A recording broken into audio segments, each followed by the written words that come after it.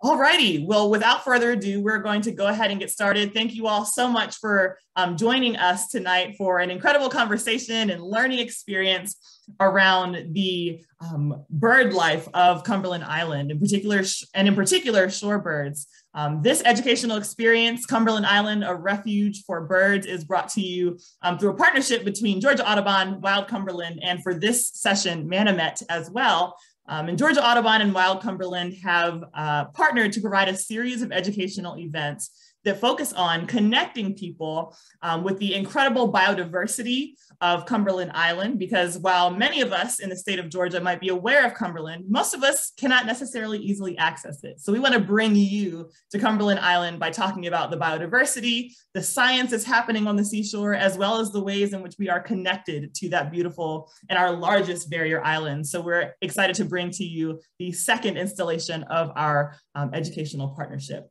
Um, so without further ado, I'm going to go ahead and pass it over to Jessica with Wild Cumberland to tell you a little bit about the island, about Wild Cumberland, um, and give you a little bit of context about what this island has to offer before we pass it over to Abby. Jessica. Thanks, Karina. Thank you all so much for being here and from so many different places. Um, I really want to thank Georgia Audubon and Manomet for partnering with us to make sure that everybody in our state and beyond has an opportunity to understand and experience why Cumberland Island is so important, um, especially to birds. So without further ado, I am going to share my screen and hopefully in just a second, you will be able to see my presentation.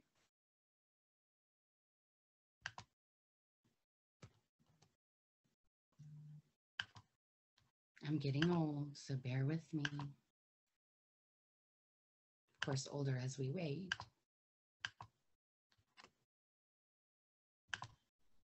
All right, here we go. So for those of you who are not familiar with Cumberland Island National Seashore, it is Georgia's largest and most southernmost barrier island. Uh, there are approximately 17 miles of undeveloped shoreline there, which is part of what makes it so special and such an important part of our ecosystem. There are no paved roads on the island and you cannot access it by bridge, by car, but it is accessible to the public by the Park Service, uh, the National Park Services who is responsible for managing Cumberland Island National Seashore, and you can access it by ferry. We will have a little bit more information about that for you at the end of the presentation if you're interested. Um, just to, before we turn it over to Abby and she talks to us a little bit more about the birds of Cumberland Island, um, I think it's important for us to all understand that more than 20,000 acres were designated as wilderness and potential wilderness in 1982. Um, that includes recovering maritime forests, wetlands, tidal creeks, marshes, and sand dunes. This map here doesn't really do justice to the variety of ecosystems um, that you find on Cumberland Island. But that large green swath is um, officially designated wilderness and the yellow that you see there is potential wilderness. Um, Cumberland Island Wilderness is also home to one of the largest freshwater lakes on any of our barrier islands, which is especially important for our migratory birds. Um, and there are actually more than 300 different species of birds that have been recorded on Cumberland. So um, there, as Abby will begin to tell you, there are many species of migratory birds and shorebirds that Cumberland Island is important for. Um, but we often receive some questions about wilderness and what it means and why we use a capital W actually. Um, so I just want to take a second and explain that the Wilderness Act was created almost 60 years ago um, when our leaders understood that our population was booming and that mechanization and, and development was already um, increasing at a rate that we needed to protect and preserve some of these wild places and lands. Um, so it requires an act of Congress to designate a wilderness and less than 5% of our entire nation is protected by this um, level of designation. It's important for a lot of reasons. Um, Abby's going to go into the many reasons that birds can appreciate our wilderness, but it's important to us too. Um, it's one of the best places that scientists like Dr. Sterling. Um, students and the public can learn about natural resources. It gives you and I a reprieve from all of this technology that we depend on so heavily.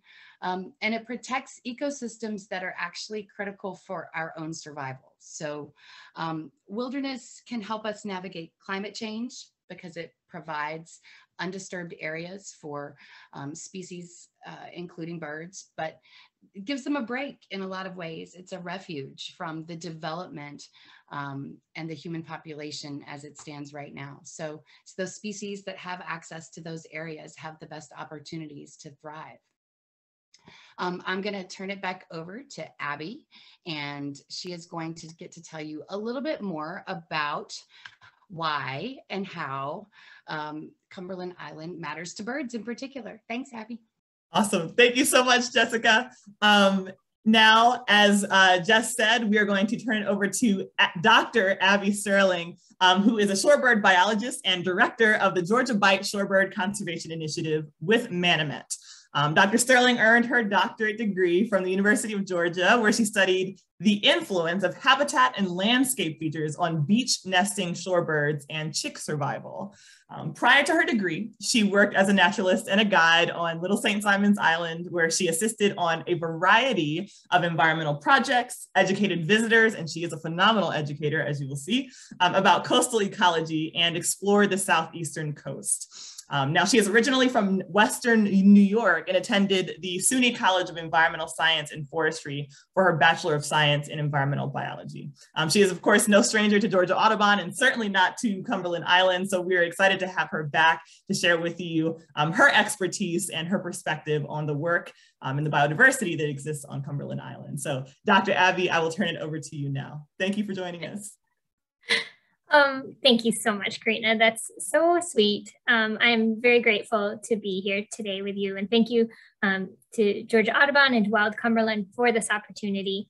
Um, tonight, I'm very excited to join all of you. Um, we're up to 75 folks here, which is really exciting, uh, to talk a little bit about how important Cumberland Island is uh, for some of Georgia's shorebirds. Um, and I'm going to pull this together, share my screen with you all so that you can see. Um, great. Um, so tonight um, we are going to be talking about how important Cumberland is uh, for shorebirds, and it is a really special place um, in the along the Georgia coast. Uh, generally, our coast is is critical for a whole range of different shorebirds, and uh, and Cumberland Island is a big part of that.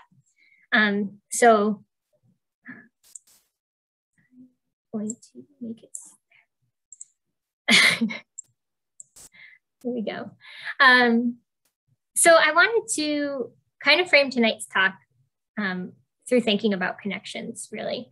Um, Cumberland Island is important because the shorebirds that we get to see here on the Georgia coast and on Cumberland do connect us to the entire hemisphere. Um, so tonight I'm going to be sharing stories with you all, um, actually throughout the entire year, because Cumberland's important year round for shorebirds. And so we'll talk a little bit about uh, summer when we have nesting shorebirds, um, which is when I became most acquainted with Cumberland doing my PhD research that Karina mentioned. Um, and then we'll talk a little bit about migration as well, because that's a very exciting time when we have these world travelers that are visiting our coast, including Cumberland. Um, and we will also talk about winter. Cumberland is very special for um, several different species. One is the piping plover. And so I'll share some stories with you all about some of the piping plovers that have used Cumberland Island um, recently. We'll talk a little bit about some of the threats uh, to Cumberland's shorebirds and then wrap up with um, sort of a big picture conversation about some of the tools that we have in our toolbox to address those threats. But I wanted to take a step back um, because I know with the magic of technology and Zoom, we could have people joining from anywhere with a whole array of backgrounds. And so um, I wanted to start with the very most basic, what is a shorebird? Um, shorebirds are a very diverse group of birds that includes sandpipers and plovers. Um, and, and they're feeding in wet areas, sort of where water meets land. So we think a lot about shorebirds being on beaches. They don't all um, occur on beaches. Sometimes you'll see them in the interior part of the country in wetlands um, and freshwater areas as well. but uh, these birds have long legs and long bills that they use to probe down into those moist muds and sands to find insects and invertebrates. So different than wading birds like herons or egrets, and also different than ducks. They don't have webbed feet, they don't swim. Um, and so that, that kind of broad designation of shorebirds, you can sort of think of um, sandpipers and plovers, but they come in a variety of shapes and sizes, which we'll talk a little bit about tonight. Um, and, and, and then moving from that most basic, what is a shorebird, I wanted to sort of set the stage for us tonight. Um, Cumberland Island is a really incredible place. Um, and, and one of the things that makes it so incredible is actually geographic processes that are happening at a much larger scale. So we are located in what's called the Georgia Bight. And the Georgia Bight um, ranges from Cape Canaveral down in Florida all the way up to Cape Hatteras um, up here in North Carolina. It's kind of the curved part of the coastline that you, you see when you see a map sort of zoomed out. And because of that curve, um, you can see Cumberland marked right here with that little blue star um, located kind of on the southern part of, of the bight. But because of that curve, we have a lot of different things that are happening that basically create the perfect set of conditions for shorebirds. So one of the things that we see here, um, the Georgia coast uh, and, and South Carolina coast are highlighted in yellow. This is the main area that I focus my work on. Um, you can see the edge of the continent is quite far from the actual continental shelf. Um, and so because of that, there's a very shallow slope all the way to the edge of the continental shelf. And because of that, there's things going on that are really important. Um, one, you can see this dark line here, uh, highlighted by that blue arrow, shows you that the average wave height gets lower as you get towards the middle part of the, of the bight, right? It's curved and it kind of bottles all that water up. The other thing that happens is we have a really high spring tidal range. So six to eight feet towards the middle part of the bight. Because we've got low wave energy and a high tidal range, that's one of the things that gives us this really lovely chain of barrier islands that stretches along the whole coast, protecting the mainland from the ocean. And it also really helps create the perfect conditions for creating this expansive uh, network of salt marsh, mud flats, and sandbars that, that feed a lot of shorebirds. The other thing that happens in the Georgia Bight is that we have a lot of inlets. You can see uh, this black bar here showing you that you get more inlets as you get towards the middle of the bight. And those inlets are spaced really close together as you get towards the middle part of the bight. So inlets are areas where the water is coming out into the ocean and those areas uh, are really nutrient rich, bringing sediment, nutrients, sands down to the coastal areas. And that builds up habitat, feeds the invertebrates, and creates perfect conditions for shorebirds. So I really like to say that the Georgia Bight has kind of the perfect recipe for shorebird habitat right? We have extensive remote beaches on our barrier islands. We have this high tidal range that creates vast expanses of mud and sand flats, um, in turn, providing the resources to create a very abundant, rich food base for shorebirds. So all of the invertebrates are eating all of the nutrients that are in the water. And it means basically, you could almost think of like unlimited food resources where the system is getting refreshed by these big tides twice a day. The Altamaha River and other large river estuaries bring down tons of sand and nutrients that create great habitat. And we also have, when you compare our coastline to areas to the north and south, a lot less shoreline engineering and fewer modified inlets. So all of those natural processes like erosion and accretion can continue uninterrupted. There's also a lot of places with limited disturbance. And in the interior part of the state, we have impoundments and managed wetlands that provide really great resources for shorebirds as well.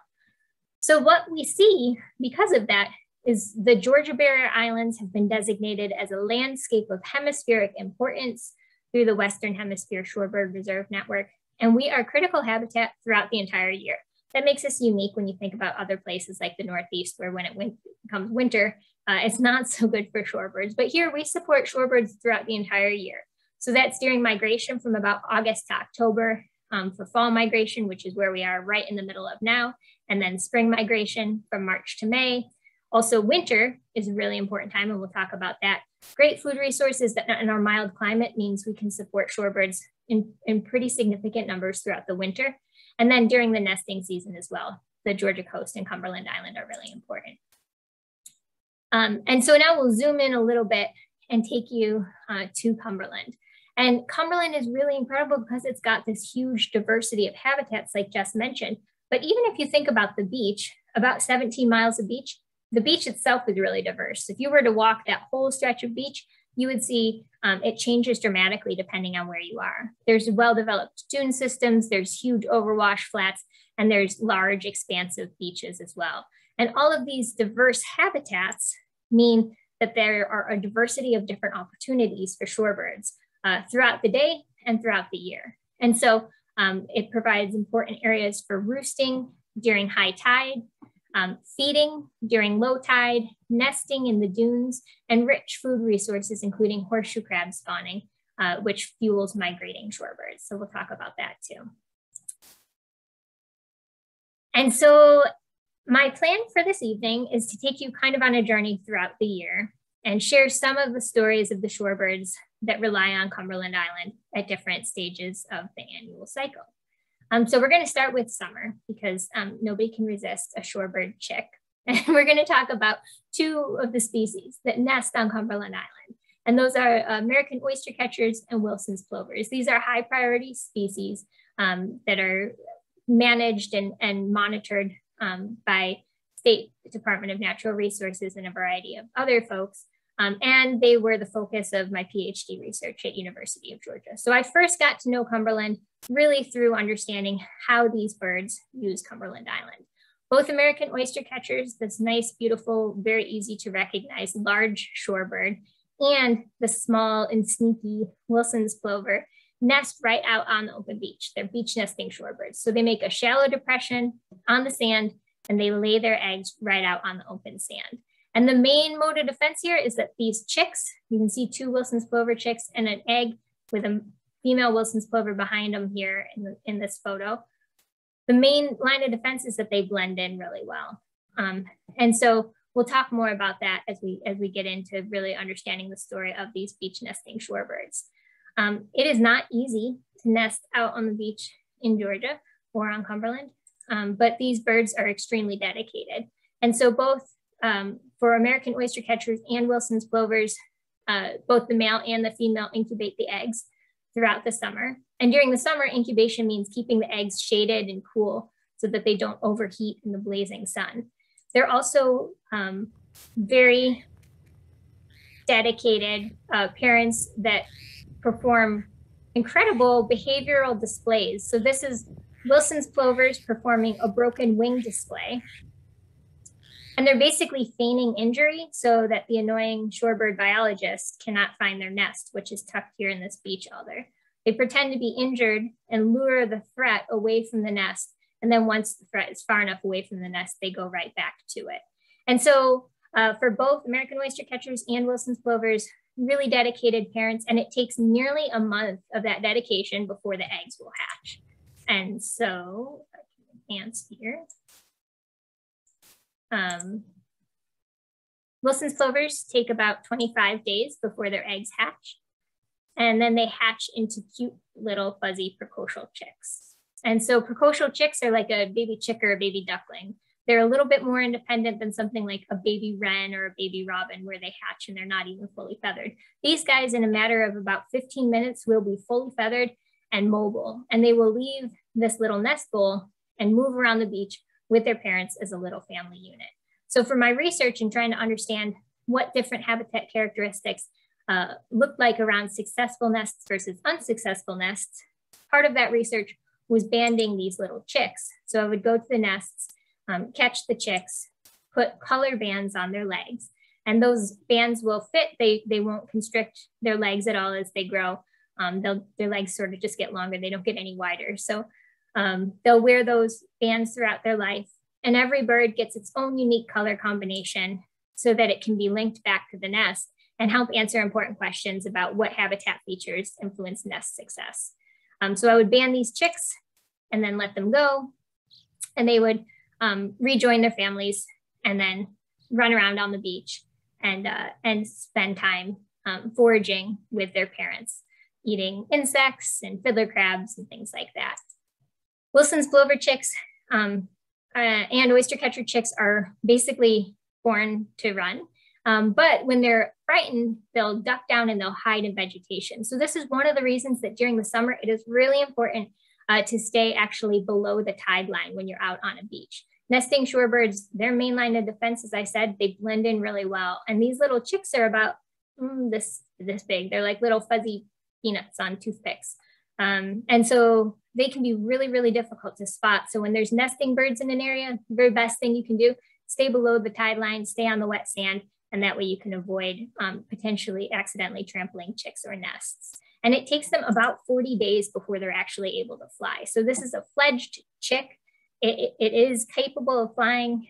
Um, it's about the same size as the adult. There's a few differences in the plumage, um, but, but it's really not until that point that they are safe from threats.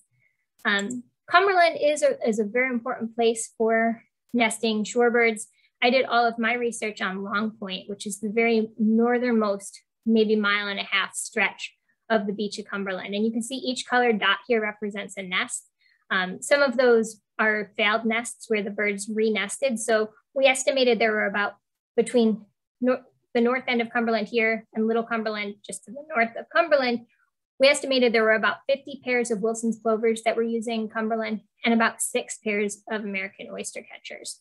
Um, during the time that I was doing this research, nesting success was was highly variable each year because of different conditions with like weather and, and predation. Tidal overwash is a very big threat for nesting birds and predation is a really significant threat as well.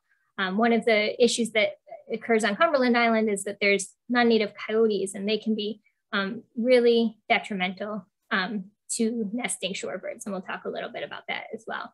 Um, but this is just to illustrate the importance of this area here for nesting shorebirds. The south end of Cumberland as well is really kind of the other hot spot for beach nesting birds. So that's what's happening in the summer on Cumberland Island. Bookending summer is migration. And so we have spring migration, which we're going to talk about tonight, and fall migration as well, which is ongoing, as I said. And shorebirds are one of the, the most noteworthy groups of animals for migration. Um, migration is basically population level movement um, at a large scale. And so when we think about migrating shorebirds, we usually talk about it in terms of flyways. Uh, these birds will have specific areas that they tend to stick to. So we're part of this pink swath here, the Atlantic flyway, but there's also shorebirds that really focus on the middle part of the country using the mid-continent flyway, and then the west coast is the Pacific flyway. And so um, you can see this uh, image with all these rainbow tracks here. All of these are individual birds that have been making these huge movements. Generally, migration occurs from the Southern hemisphere with birds that spend our winter down in, the, in South America and Central America, moving north up into uh, the Northern hemisphere and up into the Arctic for breeding. Huge groups of birds moving um, all together, joining up in large flocks um, and making these tremendous journeys. During migration, we see some pretty cool things, um, some exciting rarities. And so um, these all came from a wonderful contributor, Pat Leary, who I'm not sure if Pat is on this uh, webinar tonight, but he and his wife Doris are really invaluable. They've done a tremendous amount of uh, surveys, resighting birds, um, spending days and hours on Cumberland Island, monitoring what's going on with shorebirds on Cumberland. So if anybody's gonna find a cool rarity on Cumberland, um, I think it's gonna be Pat and Doris. Um, so they shared some of these photos and, and many others that you'll see throughout this presentation, and I'm very grateful uh, for all of their efforts. But um, just wanted for those birders in the audience tonight to give you a little snippet. Um, last year, there was a buff-breasted sandpiper that was visiting in the fall migration period. And um, many years before that, American golden plover. Um, and as well, during fall migration, uh, a curlew sandpiper, super rare vagrant. And so really during fall migration, uh, you never know who's gonna turn up. And, and these are some examples. Snowy plovers are also um, found pretty often on Cumberland Island, but that's the only place that you'll find them. And there's one, two, or now just recently, Pat uh, documented a third snowy plover on Cumberland. So uh, those guys are um, more common in Florida, um, but in the state of Georgia, Cumberland's only place you can go to see a snowy plover. Um, I think migration for shorebirds is a really exciting thing. And so understanding what's going on with migrating shorebirds is really important, understanding how Cumberland fits into the larger picture of what's going on with shorebirds on our Georgia coast. And so when we see migrating shorebirds um, in the spring, this photo is from the spring, these birds are really focused on just a couple of things, eating and resting. And you can see they're molting into this nice breeding plumage. The red knots are getting red, the dunlin get this nice black belly. During the winter, we'll have some of these birds, but they're very gray. They don't really stand out. But in the spring, they start getting all decked out, um, getting ready to go up to the Arctic. And one of the reasons I think migrating shorebirds are so fascinating is because it highlights that shorebirds have a double life. Um, when we see them down here, like I said, they're just eating and resting. And those are really important things that they need to do to build up the fuel reserve to make these incredible journeys up into the Arctic. But they leave here in spring when it's the perfect temperature and we're just really getting into enjoying beach weather. And they leave our lovely, balmy 80 degree beaches and they go up to the Arctic uh, to nest on the tundra. And this is where their life switches completely. Um, so they go up, it may be completely covered in snow, um, and they have to find a territory, they have to find a mate, they have to nest, lay eggs, and raise chicks. And they have a very narrow, maybe two month window uh, for, for nesting. And so our nesting shorebirds down here in Georgia, nesting season is from about April all the way until almost sometimes July. Uh, these guys have a much narrower window to actually successfully raise chicks. And when they're in the Arctic, they have incredible breeding displays, they have songs. Um, they live really an entirely different life that you would never, uh, never expect. Um,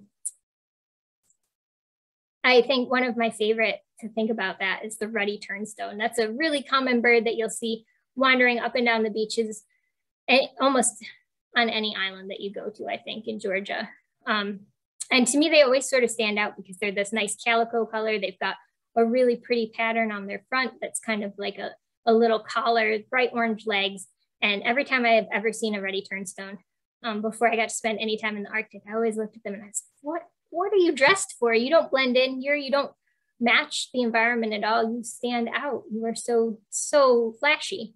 Um, and the reason that they're so flashy is because they are all decked out for the Arctic. And so when we get to see these spring migrating shorebirds on Cumberland Island, um, and they're in that rusty color breeding plumage, or they've got this really interesting patterning, a lot of that is so that they blend in perfectly when they arrive in their Arctic tundra nesting grounds.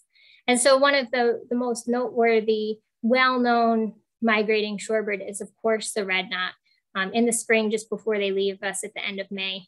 They're this beautiful rust color.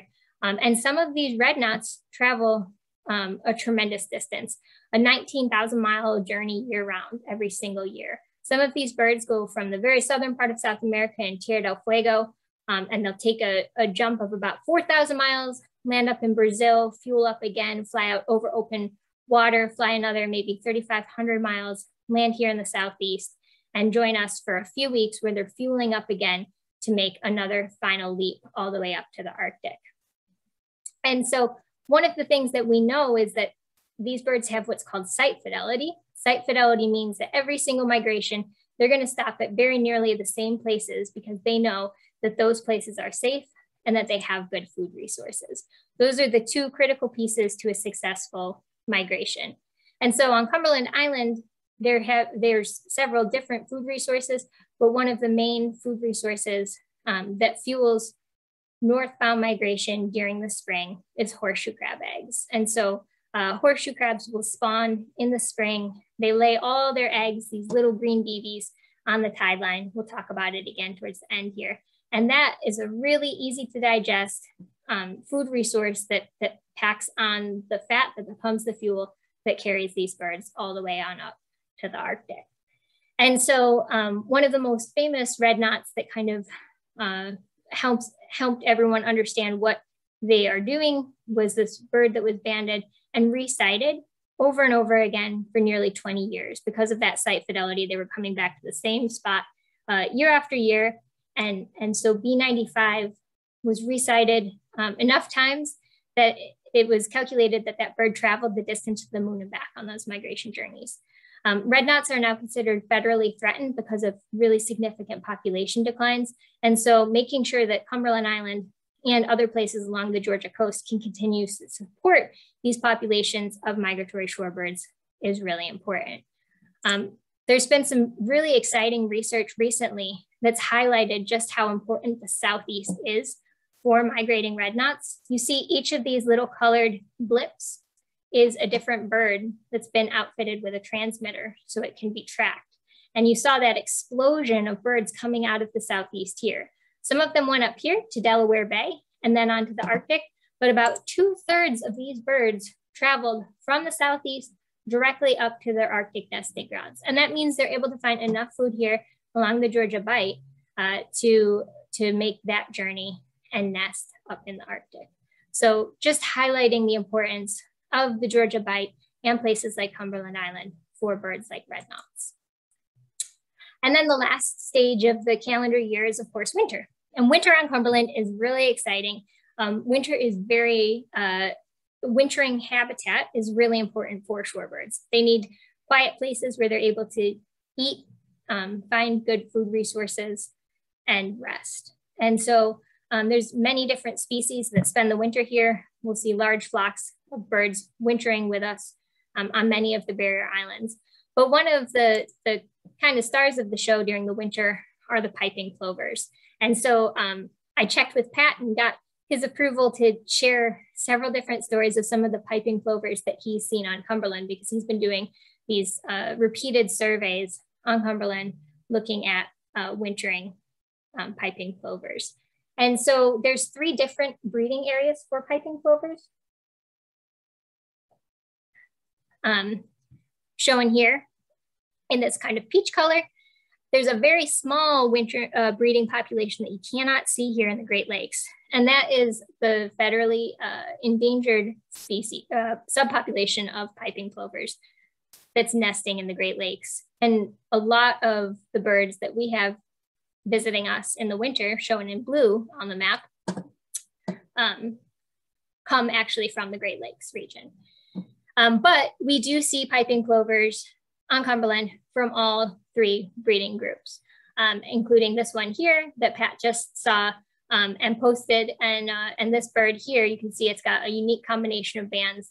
Um, and, and so this bird actually came from Delaware, which is pretty neat. Uh, another very compelling story um, that I wanted to share with you tonight was, was this bird, this individual, um, Pat uh, and Doris resighted fairly recently on Cumberland. And they coordinated with researchers uh, that are part of the Great Lakes Piping Plover Conservation Team to get the backstory on this bird. The, one of the really cool things when we talk about connections with shorebirds, when there's individuals that are banded, that's one of the things that brings people together. And so I always think about that when I see a banded bird.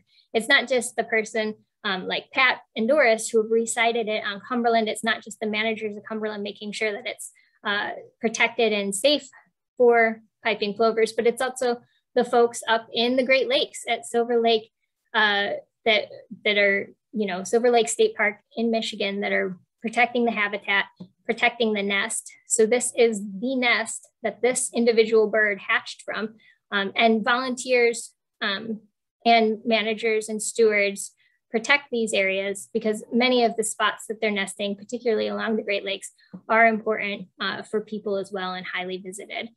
And so um, just kind of a, a, really cool connection. This particular bird was the only fledgling out of four eggs at its nest at Silver Lake State Park. Um, so it, it was successfully raised, hatched, fledged, and left Silver Lake and came down here to Cumberland Island to spend the winter. A couple other very famous piping plovers um, that we got to see actually last year um, came from Chicago. Montrose Beach uh, had a pair of nesting uh, piping plovers that were named Monty and Rose. They generated headlines like you wouldn't believe. A movie was made about them. And their chicks, they had three chicks in 2019 that successfully fledged. And Pat and Doris got to actually see one of those chicks. So um, they resighted Hazel um, in 2019. And that was a really exciting moment for us. Another very cool story of a, of a wintering bird on Cumberland that Pat shared with me is the oldest semi-palmated plover spends its winters on Cumberland Island. Um, and so this bird, um, he just saw it on October 7th. Um, and you can see here, um, they breed all the way up in the Arctic here. Uh, so this bird was banded on Cumberland in 2003. Um, and uh, in part of the research conducted by Dr. Erica Nol at Trent University. Um, and so this bird, one of the oldest semi-palmated plovers is at least 18 years old, is pretty incredible. And here's just a just to give you a sense of the numbers of semi-palmated plovers that we see on Cumberland, a big flock of, of wintering uh, semi-palmated plovers. So um, unfortunately, um, it is not all um, just incredible stories here. Um, when we think about shorebirds as a group, um, we're seeing some really significant population declines for shorebirds, particularly for some of the more long distance migrating species of shorebirds. Um, this has been uh, widely um, publicized in even just uh, the, the media and, and press, um, but it's also uh, the focus of a lot of work at both federal um, international and state level, um, trying to really understand what's going on with uh, shorebirds and why we're seeing these really stark population declines. Uh, Manomet's been a part uh, of guiding a, a, large citizen science volunteer effort called the International Shorebird Survey, uh, where volunteers have been conducting surveys since about the 1970s. And you see these trends really start in about 1970. So we have a long-term data set that's showing that generally when we look at shorebird species, um, we're seeing uh, about a 40% decline since the 70s of, of shorebirds. And it's even more dramatic for these long distance migrating shorebirds. Shorebirds face a lot of different conservation challenges. Um, and, and in part that's because of their biology right? We've talked a little bit about how they gather in these large flocks during migration. They have what's known as site fidelity. So there's, you know, just a few key places where really large numbers of birds gather. And that is a challenge uh, for habitat protection and for uh, conservation. And so um, that's one of uh, the big challenges when we think about shorebird conservation, but it's also an opportunity, which we'll talk about a little bit too as we go on here. Another challenge is that they cross these huge geographic areas. Um, and so uh, it takes more than just working in one island or one state even. We're talking, it takes international co cooperation uh, to affect change for these birds. And they also depend on very imperiled habitat and specific food resources. They, they spend their lives in this narrow band of habitat between dry land and, and water. And so that's already a really narrow ribbon. Um, but on top of that, that those coastal areas face huge threats from climate change, uh, loss of habitat from development, contamination, and disturbance. Particularly on Cumberland Island, there are a few threats that I just wanted to talk about briefly. Disturbance, habitat loss, the loss of food resources, and predation are all um, impacting shorebirds that are on Cumberland Island.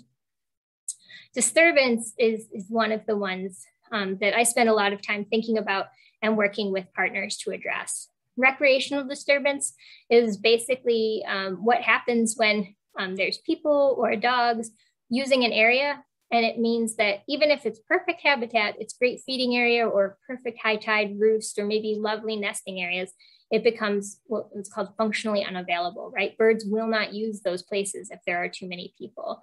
And when we see high amounts of recreational disturbance, we see lowered body condition, including decreased survival, um, lowered nest success, and birds are not able to feed as effectively, sometimes wasting energy to fly away from people or dogs, which might not pose an actual threat, but that wasted energy can mean that migration doesn't happen successfully, or even nesting up in the Arctic doesn't happen successfully. So this is a pretty significant problem across the whole um, hemisphere, really. Um, but uh, it is also a good opportunity for education and outreach. So it's not all doom and gloom, but it is a really significant problem, um, particularly when we think about Cumberland Island, you know, increased boat traffic on the south end and on the north end, those inlet areas that are so important for nesting. um, that can be a really significant problem. And if you have a lot of people that set up to spend the day out on the beach right next to a nesting oyster catcher, that bird will not protect its nest from overheating or from predators. And so we can see really significant repercussions from disturbance. Habitat loss because of climate change that increases uh, the amount of extreme tides each year or sea level rise or erosion uh, limits places that shorebirds can nest, roost, and feed. And habitat loss um, potentially from some of the risks that uh, we see with, with new emerging threats like the Camden spaceport could be significant as well. Um, this is a, an ongoing um, uh, potential development uh, on the mainland at Camden County with a spaceport that would essentially serve as a launching off point uh, for rockets going out over Cumberland. There's a number of folks that are working on this issue, including folks at the Southern, Southern Environmental Law Center, folks on Little Cumberland Island, uh, 100 Miles, um, Wild Cumberland, Georgia Audubon, uh, really trying to raise awareness and, and think through the risks and what, uh, what is at stake with uh, the creation of a spaceport on the mainland. And there's actually a precedent for um, how this could be a potentially terrible idea. Um, there is a space facility at Boca Chica in Texas um, where numerous explosions have really impacted the quality of habitat that a variety of shorebirds need along the Texas coast. So, uh, so that have that threat to habitat is um, is pretty significant. Another important thing to consider uh, is threats to food resources. So we talked about how many food resources there are for shorebirds here along the Georgia coast, and, um, and we definitely see that on Cumberland. This is a, a little snapshot here, this video of horseshoe crab eggs that are very near to hatching, but you can see the little tiny um, uh, horseshoe crabs inside the eggs and a handful of horseshoe crab eggs. So between horseshoe crabs uh, spawning, um, good food resources, like clams and surf clams, coquina clams and Donax clams, um, there are really abundant food resources, but they need to be protected, um, particularly when we think about horseshoe crabs. Horseshoe crab conservation is inextricably linked to, uh, to shorebird conservation. Um, and then one other big threat uh, on Cumberland is predation as well, um, and that's impacting nesting shorebirds. And so um, the main predators for nesting shorebirds um, are, are raccoons and coyotes. Um, and those uh, raccoons are unnaturally high in abundance. Coyotes are non-native.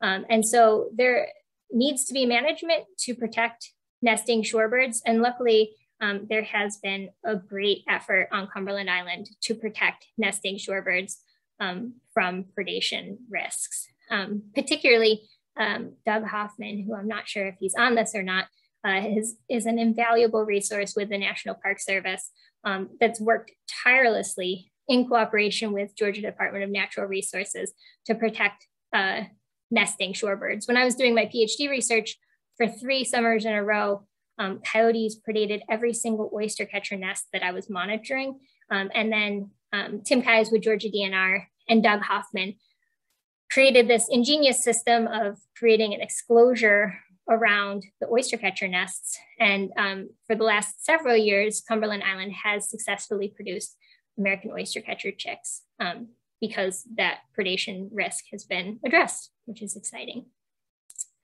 So in, in thinking through all of those threats, it's important to think about all of the incredible um, partnerships and, uh, and tools that we have in our toolbox to address some of these threats. Some of the most significant ones are partnerships, using education and outreach, uh, coordinated research and coordinated management to, to really understand how the actions that we take in one specific place can be scaled up um, and affect shorebirds across the whole Georgia Bight. Again, one of those great partners that I wanted to give a little shout out to are Pat and Doris Leary, who supplied so many of these great stories, um, photos, and um, have really just uh, been instrumental in, in understanding what's going on on Cumberland in terms of shorebirds. Um, some of the other tools that we have in our toolbox, thinking a little bit more big picture outside of just the scope of Cumberland, um, are things like the International Shorebird Survey, which is something that Pat Leary has been helping on for, for years, and I've mentioned already. This is a coordinated count of shorebirds during migration uh, to help us understand what's going on at each site in real time. And then that data can be analyzed and help create those population trends that we talked about. So having this sort of tool, these coordinated shorebird counts is, is critical for any kind of conservation action when we're thinking about shorebirds. Another very important conservation tool is the Western Hemisphere Shorebird Reserve Network. I mentioned uh, that the Georgia Barrier Islands have been designated as a landscape of hemispheric importance, which is the largest designation. And, and in part, it's because we support 300 to 400,000 shorebirds every single year within the Georgia coast here. Um, there's two other WHSRN sites, as it's known, in the Georgia Bight, Altamaha River Delta and, and Cape Romain Santee River Delta up in South Carolina. But basically, this is a network of about 110 sites across the hemisphere um, where folks are cooperating, communicating, and coordinating to try to protect all of the places that shorebirds need um, on these tremendous journeys.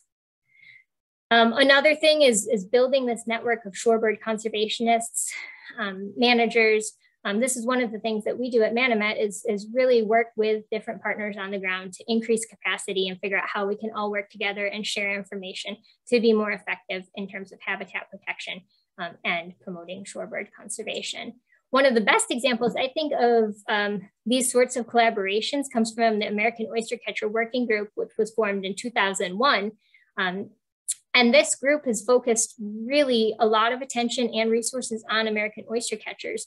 Um, back in the early 2000s, the population of oyster catchers was uh, seemingly in decline. It, it, looked like this very charismatic, um, emblematic shorebird was, was in trouble. Um, and um, recent surveys um, after years of work have shown that because of this collaborative, concentrated effort, we're actually seeing now population increases of oyster catchers. And, and that really um, is uh, in part because of having folks across the whole entire East Coast uh, working together to protect the places that oyster catchers need. Um, Manomet, uh, the organization I work for, is really all about building these partnerships and addressing shorebird conservation across uh, large geographic scales. Um, and so you can see just the smattering of some of the research that we're doing here in the Arctic, here in Georgia, um, really trying to connect the dots to understand how we can all work together to protect shorebirds and the places that they need. In the Georgia Bight, we're working on building this regional network to maintain these really valuable places and working with partners and managers um, doing research and, and working on projects that will help us plan habitat for the future as well. So there's a number of different ways that you can help shorebirds. I think one of the best ways is to hear these stories, get excited about shorebirds and share those stories with people um, when you see them.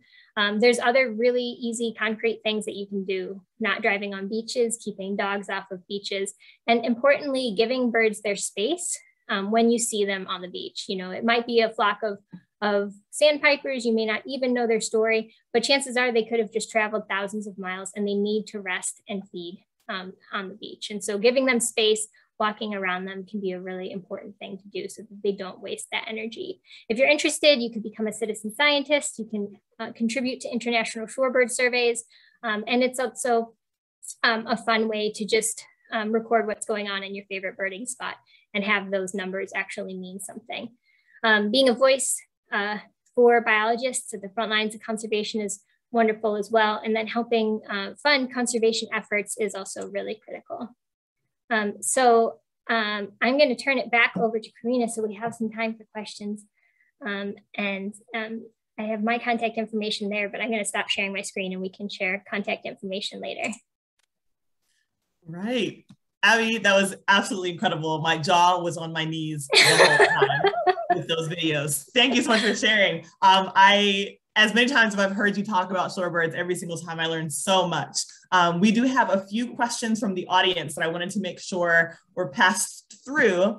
Um, and first, um, Nancy asked about how the proposed spaceport will affect birds on Cumberland Island. And I know you touched on that and even with a worst case scenario um, from other spaceports. But, but if there's anything else you wanted to add, um, do let me know uh, for Nancy.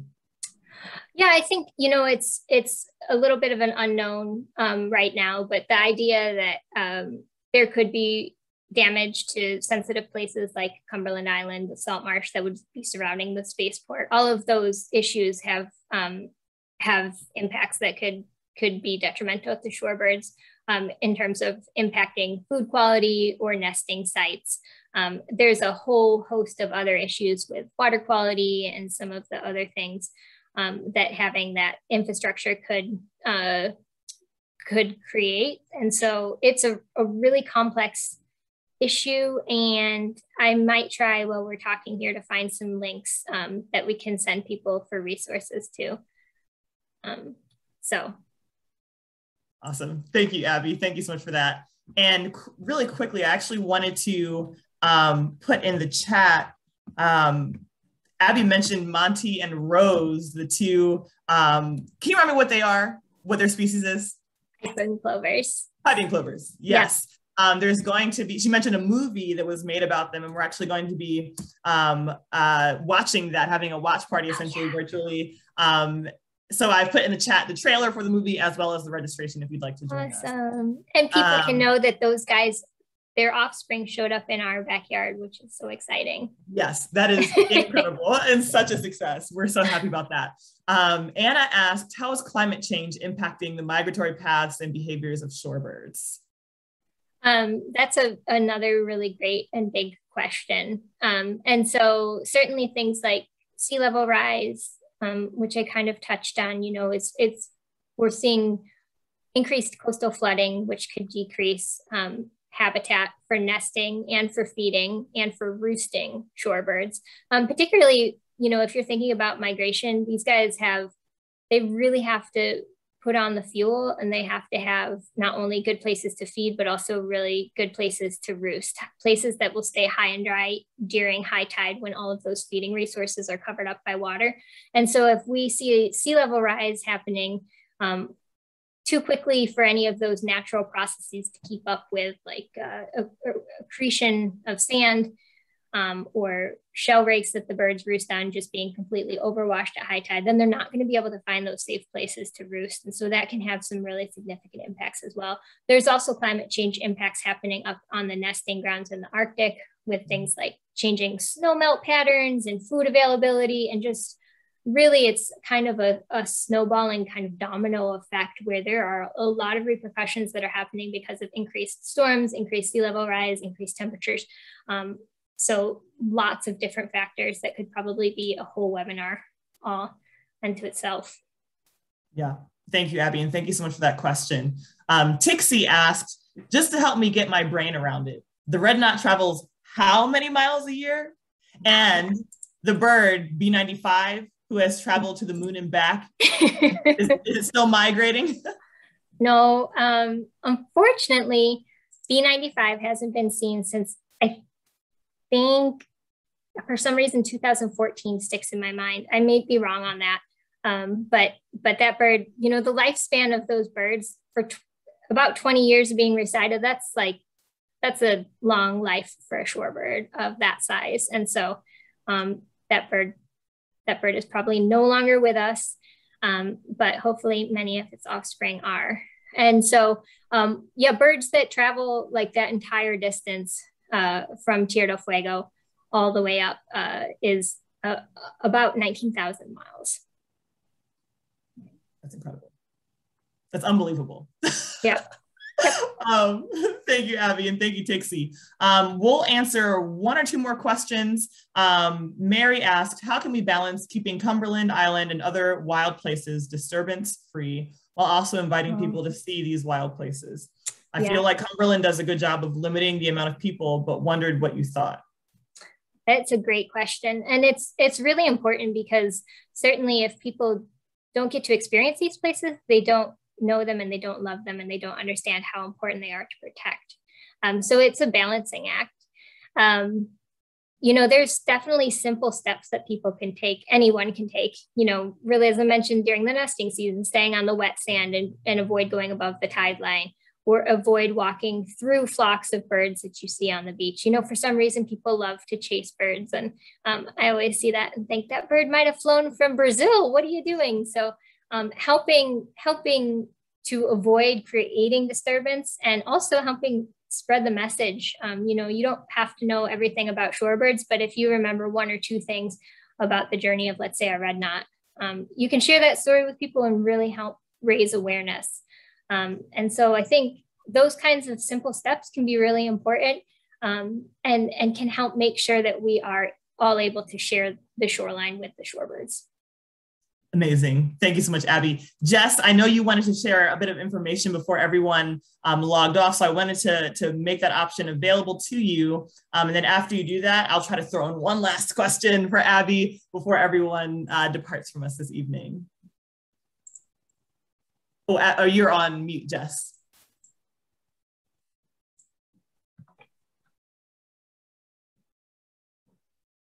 Thanks. Yeah, we typically get a whole lot of questions um, about how to visit Cumberland Island. And so I want to make sure that everybody has access to that information.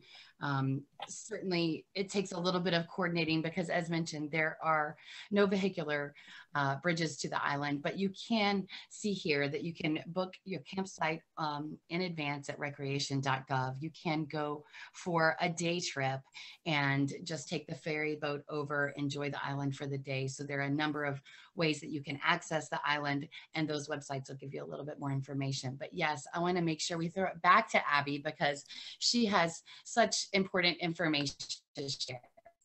Awesome. Thanks so much, Jess. And if you wouldn't mind throwing those links in the chat, we can have that available and folks can just um, keep that for their information. I visited Cumberland for the first time and camped um, with Jess and Abby was there as well. And I have to tell you, it was the most magical experience of my life. Um, so if you're able, I do highly recommend it. Um, just to answer uh, one of the questions that were in the chat, um, Anna asked, what is required to become a citizen science for shorebird efforts? Great, that's another fantastic question. Um, yeah, so if you are in a spot where there are shorebirds and you want to get involved with efforts like the International Shorebird Survey, please reach out to me and I can connect you with the Manomet team um, that's helping train folks and coordinate ISS and we can help get you looped into what might already be going on or help you establish your own site. Um, there are also a lot of opportunities that we're working on building out that involve stewarding. So that's basically just helping spread the message and, and protecting these important places that shorebirds need. Um, both during nesting, um, we're going to be launching a program where we're doing stewarding at boat ramps to talk to recreational boaters um, and, um, and working on thinking about uh, stewarding outside of just the nesting season as well. So there are a lot of opportunities. And I think if anybody wants to get involved, either getting in touch with with Karina, and you can funnel them to me or they can reach out to me directly. Um, or if you're not here in Georgia and you want to get involved in other ways, um, you know, local Audubon groups um, do, do this kind of work really uh, in many places as well. So either reach out to Manomet or Audubon or your local Audubon group and we can get you, get you um, looped in. Awesome. Um, and I know I said that was the last one, but there's one more important question, and then we're done. And as Abby's answering, I'm going to go ahead and put Abby's email in the chat for you um, so that you can reach out for, to her if you have any questions about that. The final question from Tixie is What are some of the other Georgia Barrier Islands that remain uh, a viable key habitat for shorebirds in addition to mm. Cumberland Island? Yeah, we are so lucky in Georgia. We have, you know, depending on who's counting, we have about 14 barrier islands, and about 11 of those islands are pretty much undeveloped without bridges and and uh, and easy access. And so that means those places are all really important for shorebirds. Um, there's certainly other key areas for migrating shorebirds where feeding resources are really good um, during horseshoe crab spawning season. Um, and even some of the public access beaches like Jekyll Island and St. Simon's Island and Tybee have really important places for shorebirds as well, um, areas where wildlife thrive. And so one of the things that we're working on is helping to highlight some of those wildlife beach zones. Um, places like Gould's Inlet on St. Simon's Island, if you're familiar, or the south end of Jekyll, or the north end of Tybee Island um, near Polk Street are all really great places um, to spend some time and see shorebirds in a, in a way that's very easy to access. Incredible. Well, thank you so, so very much, Dr. Abby. It was a pleasure to learn from you, an honor to learn from you. Um, and I hope you all had a, a, fantastic time. Please do feel free to learn more about Manomet or Wild Cumberland or Georgia Audubon. All three organizations have wonderful resources on how you can help to protect and enjoy the incredible landscapes and ecosystems that are refuges for birds across Georgia, across the coast, and specifically on Cumberland Island. Um, so I hope you all have a fantastic rest of your day. Um, and thank you so much for coming, everyone. Thank you so much, Karina and Jess. Bye, everyone. Bye.